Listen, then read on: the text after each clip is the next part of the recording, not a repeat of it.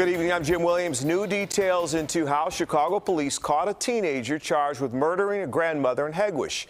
A judge denying him bond today as prosecutors laid out the evidence. CBS 2 Steven Graves is live. Steven, surveillance videos played a huge part in leading police to this suspect. Jim, that's right. And we looked, we went looking for some more tonight. Videos throughout Chicago's South Side. Police say they tie this 17 year old not only to this grandmother's murder, but to a shooting and carjackings. He was dressed in all black, a mask over his face, identity concealed until tonight. Prosecutors identifying him as Malique Long, a 17 year old, one of two people Chicago police say is in this video. His partner seen shooting at 70 year old Yvonne Ruzich in this car. Her stepson talking to her from the other vehicle outside her workplace in Hegewisch.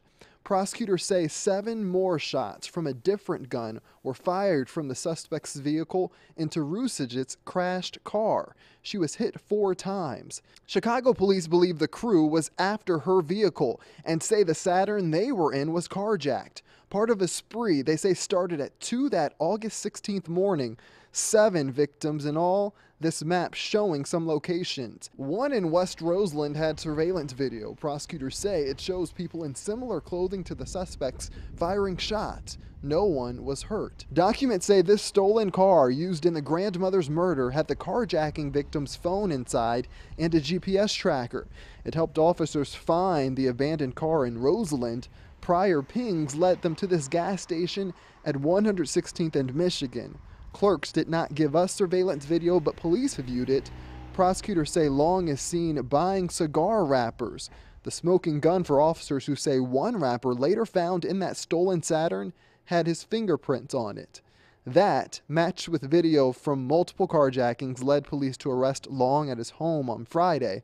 Ruzich's family and friends relieved and grateful last night. Everybody clapped and stood up, and it, it was just unbelievable that justice is being served. And Long is being charged as an adult. Chicago police say the community also helped identify Long as a suspect here. They are hoping the same type of tips can come in to help identify his accomplice, who police say is also a minor. Reporting in the Streetside studio, Steven Graves, CBS 2 News. Jim. Steven, thank you.